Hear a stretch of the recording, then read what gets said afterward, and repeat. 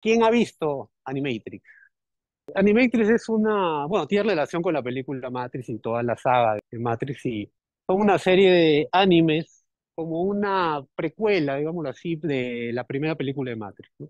Los primeros dos capítulos son más o menos, ¿no? Cómo se desarrolla este mundo de Matrix.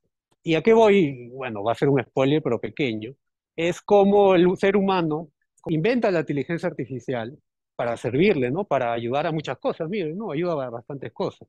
Ojo, el traductor de Google también es inteligencia artificial, son varias cosas. Solo que ahora está un poco la moda porque ahora el, chat te, te, responde casi como una persona, ¿no? Pero hay muchas cosas que ya se han hecho con la inteligencia artificial antes. Pero bueno, ya desarrollan robots y al final los hacen como sirvientes, pero como es la mayoría, algunos seres humanos los tratan al final como esclavos, ¿no?